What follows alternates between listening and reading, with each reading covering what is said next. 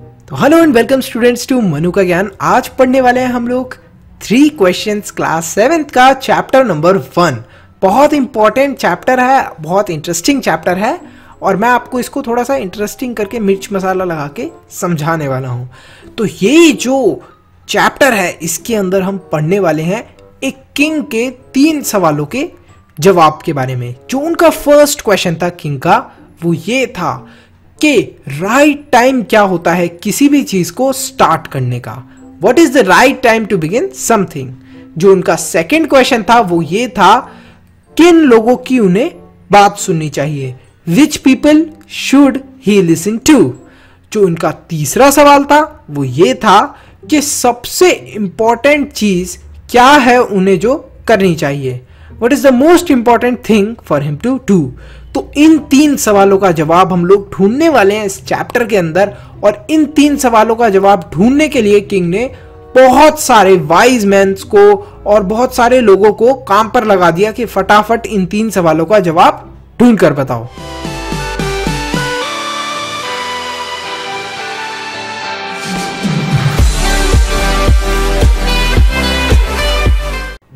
तो यहाँ पर जो वाइज मैन थे, उन लोगों ने राजा को बहुत सारी सजेशन दिए।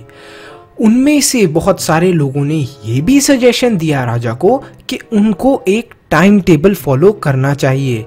इस तरीके से जो उनका फ़र्स्ट क्वेश्चन था, उसका आंसर उन्हें मिल जाएगा। जो राजा का फ़र्स्ट क्वेश्चन था what is the right time to begin something किसी भी चीज़ को करने का, शुरू करने का सही टाइम कौन सा होता है? इसका आंसर बहुत सारे लोगों ने यही दिया था कि उन्हें एक टाइम टेबल फॉलो करना चाहिए। लेकिन बहुत सारे लोग ये भी मानते थे कि कोई भी पता नहीं कर सकता कि राइट टाइम क्या होता है किसी भी चीज़ को स्टार्ट करने का पहले से। तो ये इस चीज़ पर बहुत ज़्यादा डिस्कशन होता है और इस वाले क्वेश्चन का आंसर कोई भी नहीं पता लगा पाता। ऐसे ही जो दूसरा क्वेश्चन था which people should he listen to राजा को किन लोगों की बात सुननी चाहिए?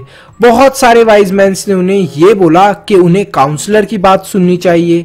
कुछ लोगों ने उन्हें ये क, ये बताया कि उन्हें अपने पंडितों यानी कि प्रीस्ट उनकी बातें माननी चाहिए और उनकी बातें सुननी चाहिए।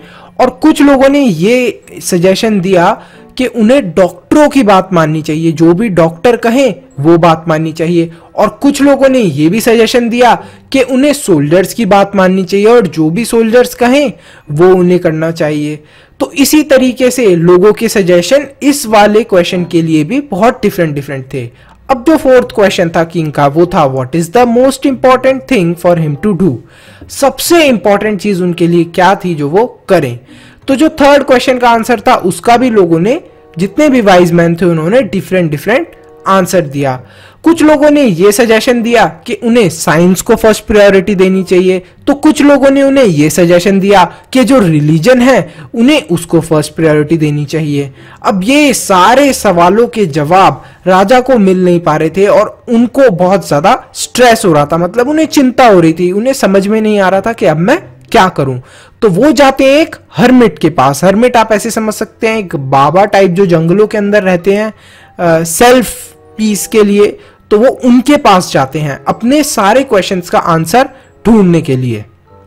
वो जैसे ही वहाँ पर पहुँचते हैं जंगल के अंदर, वो सब लोगों को एक चीज़ पता चलती है उन्हें, राजा को, सब लोगों से, कि जो वो हर्मिट था, वो नॉर्मल लोग मतलब कि जो कॉमन पीपल होते थे, उन्हीं से मिलता था। किंग वगैरह से नहीं मिलता था।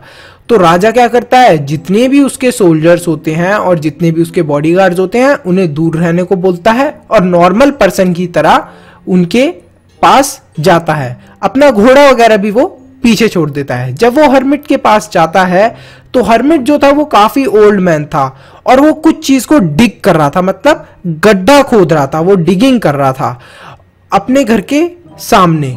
जब किंग वहाँ पर पहुँचता है तो वो हर्मिट को बोलता है कि मेरे को इन तीन सवालों के जवाब चाहिए। प्लीज़ मेरे को इन तीन सवालों के जवाब दे दो। और बार बार उससे ये सवाल पूछता है। लेकिन जो हर्मिट था, वो कुछ भी रिस्पॉन्स नहीं करता। और अपना काम कंटिन्यूस, कंटिन्यूसली करता रहता है। मतलब वो राजा की तरफ़ देखता भी नहीं है। कुछ टाइम बीत जाता है और राजा जब देखता है कि हर्मिट बेचारा इतनी मेहनत कर रहा है तो राजा उसकी मदद करने की कोशिश करता है। जो किंग था वो कंटिन्यू कर देता है डिग करना ग्राउंड को, शाम तक शाम तक वो मिट्टी को खोदता रहता है। इवनिंग के टाइम जब हो जाता है तो वो फिर दोबारा रिक्वेस्ट करता है हरमिट से कि प्लीज़ मेरे को जो मेरे तीन सवाल है उनके जवाब बता दो ना। लेकिन फिर फिर भी हरमिट उसको, उसके तीन क्वेश्चंस का आंसर नहीं करता। तभी राजा एक आदमी को उसकी तरफ़ भागते हुए देखता है, जो कि हरमिट के हर्ट के अंदर आ रहा होता है। तो जो राजा था वो जब ये सारी चीज़ें देखता है तो वो काफ़ी ज़्यादा सरप्राइज़ हो जाता है कि आखिर ये कौन है जो हरमिट के घर के अंदर आ रहा है। किंग होता है वो भागा भागा भागा भागा हरमिट को ढूंढता है। वो हरमिट को इसलिए ढूंढता है क्योंकि वो उस आदमी को उसके हर्ट की तरफ़ आते हुए देखता है। वो हरमिट को देखता है तो हरमिट क्या कर रहा होता है? सीड्स सो कर रहा होता है। मतलब वो सीड्स को डाल रहा होता है ज़मीन के अंदर जो राजा ने खोदी हुई होती है। तो राजा फिर दोबारा अपने क्वेश्चंस का आंसर पूछता है हरमिट से तो हरमिट उसको बोलता है कि तुम्हें पता है कि जो तुमने कल मिट्टी को खोदा था, वो सही टाइम था, उसी से तुम्हें सारे आंसर मिल गए, क्योंकि जब तुमने वो मिट्टी को खोदा तो उससे क्या हुआ, वो जो पर्सन आ रहा था मेरे हट की तरफ़, वो तुम पर अटैक करने के लिए आया था। तो तुम अटैक से बच गए। और सबसे इंपॉर्टेंट पर्सन कौन था, जिसने जिसने मतलब तुम्हें बिज़ी करा था ये डिगिंग करने के लिए, खोदने के लिए, गड्ढा खोदने के लिए, वो मैं था। तो मैं क्या था? सबसे इंपॉर्टेंट पर्सन था। अब इन दो क्वेश्चंस का आंसर तो राजा को मिल जाता है। तभी राजा देखता है कि एक आदमी उसकी तरफ़ आ रहा होता है, जिसका जो पूरा स्टमक होता है, वो वाउंडेड होता है। मतलब चोट लगी हुई होती है उसके स्टमक के अंदर। जो राजा होता है, उसके वाउंड को क्लियर करता है, साफ़ करता है, उसके आसपास से ब्लड और क्लीन करके उसके ऊपर पट्टी वगैरह लगा देता है, जिससे कि खून रुक जाए। वो जो पर्सन होता है, उसको थोड़ा सा बेटर रखता है, वो थोड़े से पानी के लिए भी पूछता है कि क्या मेरे को पानी मिल सकता है पीने के लिए? तो हरमिट और जो किंग होते हैं, वो उसको अपने घर के अंदर ले जाते हैं, उसको पानी वगैरह पिलाते हैं और उस आदमी को वहाँ पर लिटा देते हैं। जो किंग था, वो भी बहुत ज़्यादा थका हुआ था क्योंकि पूरे दिन भर उसने मेहनत करी थी और अब जाकर बहुत मुश्किल से उसके दो क्वेश्चंस का आंसर तो मिला था, लेकिन अब किंग क्या करता है? अब किंग सोचता है कि अब क्या करूँ? अब तो मैं थक गया बहुत ज़्यादा, चलो सो जाता हूँ। सुबह देखूँगा जो भी और क्वेश्चंस का आंसर मिलेगा तो मिलता रहे। सुबह का टाइम होता है किंग जब सुबह सुबह अपनी आँखें खोलता है तो जो वाउंडेड मैन होता है, जिस आदमी को चोट लगी हुई होती है, वो किंग से माफ़ी मांग रहा होता है। तो किंग काफ़ी ज़्यादा सरप्राइज़ हो जाता है कि आखिर ये मेरे से माफ़ी क्यों मांग रहा है? बड़े अजीब से एक्सप्रेशन देता है किंग लेकिन जो वाउंडेड मैन होता है, वो बताता है कि राजा जी, मैं आपसे माफ़ी इसलिए मांग रहा हूँ क्योंकि मैंने आपको मारने की कोशिश करी थी। क्या आपको पता है कि आपने मेरे भाई को मार दिया था और जितनी भी मेरी प्रॉपर्टी थी, उसको छीन लिया था, हड़प लिया था? तो इस वजह से मैं आपको मारना चाहता था। हरमिट के घर पर मैं इसीलिए आया था। तो जो किंग था किंग के बॉडीगार्ड थे, उन्होंने उसको ढूंढ लिया था और उसको मार दिया था, उसको वाउंडेड कर दिया था, उसके चोट लग गई थी क्योंकि वो किंग के बॉडीगार्ड से ही लड़के आया था। तो वो यही बताता है राजा को कि इस वजह से मेरे चोट लगी थी और मैं आपको मारने के लिए आया था और मैं मर जाता अगर आप मेरी हेल्प नहीं करते। उसको बहुत ज़्यादा दुख होता है बोलता है कि मेरे को बहुत ज़्यादा दुख होता है कि मैंने ऐसा सोचा भी, आपको मारने का पूरा प्लान भी बनाया और लेकिन फिर भी आप तो इतने अच्छे आदमी निकले, आपने मेरी जान ही बचा दी और मैं आपसे प्रॉमिस करता हूँ कि I will work as a faithful servant मतलब मैं आपका एक बहुत ही अच्छा नौकर बनकर रहूँगा। आपकी जो भी काम वगैरह करना है, वो मैं कर दिया करूँगा। फेथफुल सर्वेंट की तरह रहूँगा। जो किंग था, वो बहुत ज़्यादा खुश था, क्योंकि उसने अपने एक दुश्मन को दोस्त में बदल दिया था। वो वो उसको फॉरगिव कर देता है, उसको माफ़ कर देता है और जो भी उसकी प्रॉपर्टी होती है, वो भी उसको वापस कर देता है। तो जब वाउंडेड मैन आता है वो सबसे इंपॉर्टेंट टाइम था। क्योंकि वो क्या आ, आ, क्योंकि जब वाउंडेड मैन आया था तब सबसे इंपॉर्टेंट टाइम क्यों था? जो राजा को समझना था कि उसके लिए वो सबसे इंपॉर्टेंट टाइम क्यों था? क्योंकि वो एक वाउंडेड आदमी की केयर कर रहा था। मतलब एक चोट लगी हुई थी जिसको उसकी ध्यान रख रहा था। नहीं तो वो मर जाता। तो ये सारी बातें राजा को अब उसके माइंड के अंदर आती हैं। तो जो वाउंडेड मैन होता है, वो उसकी नर्सिंग करना, उसकी टेक केयर करना सबसे इंपॉर्टेंट चीज़ थी उस समय पर। राजा को इससे अपने क्वेश्चंस के आंसर भी मिल जाते हैं। जो हरमिट था, वो ये बोलता है कि जो सबसे इम्पोर्टेंट टाइम है, वो है अब का। क्योंकि ये जो टाइम है, इस टाइम में हमारे पास पावर है एक्ट करने की। मतलब आप समझे, ये जो हमारे पास करंटली टाइम है this is the most powerful time क्योंकि इस टाइम को हम लोग बदल सकते हैं चेंज कर सकते हैं।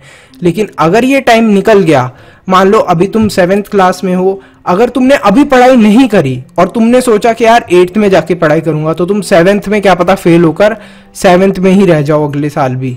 ऐसा तो नहीं होगा, क्योंकि तुम लोग यार इंटेलिजेंट हो ऑब्वियसली लेकिन हाँ अगर तुमने नहीं पढ़ाई करी तो ये भी हो सकता है। और जो मोस्ट इंपॉर्टेंट पर्सन होता है, वो हम, हमारे लिए वो पर्सन होता है जो जो सबसे इंपॉर्टेंट पर्सन होता है, वो होता है हम खुद।